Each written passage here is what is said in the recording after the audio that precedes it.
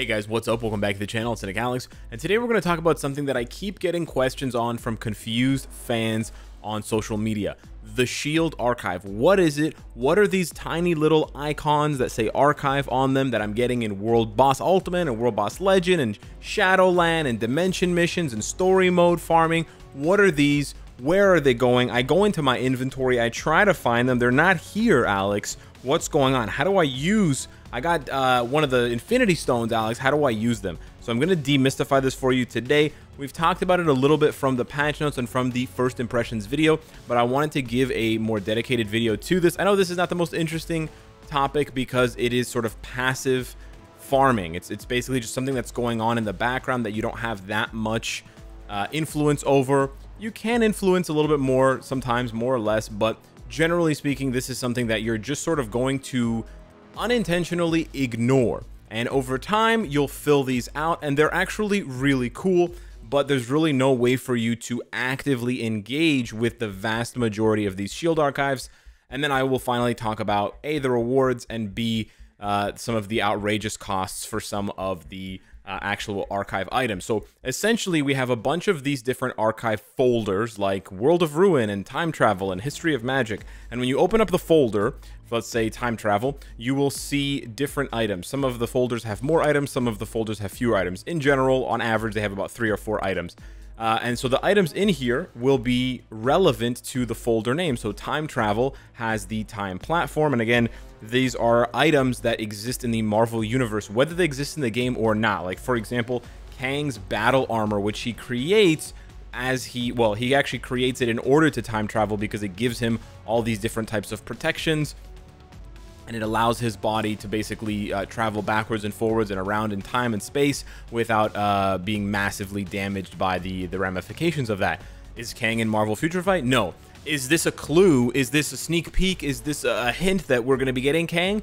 It could be. Uh, we won't know until we actually get another actual sneak peek of Kang. But for now, and I've already had people tag me on Twitter about this, for now, this does not indicate that Tang, that Tang, that uh, can, Tang is like that that drink that you mix the oh, the like nasty like orange flavor. Anywho, this is not uh, proof that Kang is coming to Marvel Future Fight. But maybe the devs are leaving us clues. You never know, but I'm just saying it's it's not proof. And then we finally have the convergence device. And so all these items have their own flavor text. You can see here special armor crafted from rare synthetic alloys from the fourth uh, 40,000 40th century. Wow, I can't read. Um, so this is really cool. But what does it really do? Well, the answer is not much. If you collect Kang's battle armor, and you can collect it by clicking the location button, and you can get it from these dimension rifts, so you basically have to wait for the day. If it's locked, it means that it's not today's dimension rift. You have to wait for the emergency dispatch dimension rift, um, and then you can open that dimension rift, you can play, and you have a chance of these dropping. Once you get four of them, then it will complete the item. You'll have the item, but it doesn't actually exist. It doesn't take up a slot in your inventory. You can't do anything with it um, but it goes towards your progress on the time travel bar, that folder, and it also goes towards the progress on the rewards, which for this folder is Phoenix Feathers and M'Kraan Crystal. So basically, that's how it works. You can see every item has a number underneath it, so it's 0 out of 2 for the time platform, it's 0 out of 4 for Kang's armor, and it's 3 out of 14 for the convergence device. I already have 3 convergence devices, so I haven't actually collected the item yet. I've just collected pieces of it, or fragments of it, if you will and I've been collecting that from the uh, story mode fragment farming. So this is basically how it works, and when you complete one of these, let me find one that I have more on. Collector's Vault number two. I'm actually pretty close to getting my first reward on this one because as you can see, I'm 43% of the way, and when I hit 50%, I'll be able to collect these M'Kraan crystals. Now, these rewards here are they, they seem pretty lackluster, but again, there's nothing that you're doing new. This is not any new content. This is just a bit of flavor to go along with and to sort of pair with all of the nice stuff. So if in another example, uh, this is basically just a new type of wine that they're serving at the dinner table, but you're still having your regular MFF meal, your steak, your potatoes, your vegetables, or whatever you're vegan, you have your um, soy steak kind of thing. I don't know what you want to call it, but anywho, you kind of get what I'm saying. So the the wine, which doesn't actually do anything, right? Well, it does something too if you drink enough of it. But anyways, uh, the the shield archive is sort of like the wine, right? It's just a nice thing to pair. It adds some flavor, it adds some profile, it sort of you know pulls everything together. but it's not actually like it's not giving you any calories, it's not giving you any sustenance, right? So there's not actually much here. There are some decent rewards if you if you flip through some of these shield archives archives be like, "Oh, a blast book. Like I could use that. I just tier 3 Adam Warlock." Or you flip through some of the other ones, you're like, "Ooh, the Luna Snow uh, power saving mode uh, theme. That's pretty cool. So there's some unique stuff here for sure. There's some decent items like the EOD or the TCP. I believe the, it shows up at least once. But generally speaking, I would say don't really worry about this. Just sort of farm it passively. And if you happen to unlock items, then better for you. And you can grab some of these uh, rewards uh, and then just sort of go on with your daily routine. But don't go out of your way, I would say. My advice is don't go out of your way to farm these because I think you're going to be disappointed with the rewards. I don't think this was meant to be something that you focus farm like like dispatch missions or something like that, you know? This is just something that's meant to give people who really want to know more about where the game comes from, like the history of the game, the comics, all the lore, right? They want to know like why is Doctor Strange talking about this kind of stuff? Why is uh, you know Danny Rand and blah blah blah? Like I want to know more about the Eye of Agamotto. So you can see here one of the most powerful magical items created by Agamotto, the like the first Sorcerer Supreme or whatever you know, you have all this information, and this just sort of pairs well with the game. The last thing that you're really going to get from the Shield Archive, which is, again, I don't want to stress how, I, I don't want to overstate how important this is because I don't want to stress you out and have you worry about it, but you do also get a passive reward from some of the Shield Archives. I had like a cat hair in my mouth, which gives you uh, permanent increases to certain instinct stats. So the instinct system in general has been explored and, and sort of uh, placed into the game in a pretty clunky way. By and large, Instinct has a very insignificant impact on the game and gameplay.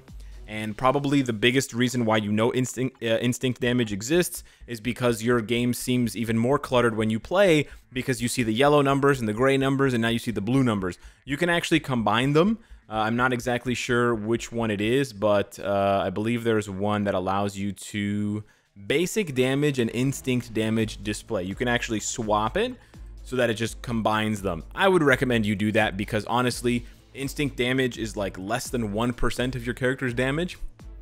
That's how much it matters. That's how much it impacts the game right now.